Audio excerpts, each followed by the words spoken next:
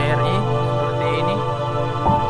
Yang ATM-nya sudah tidak kelihatan nih.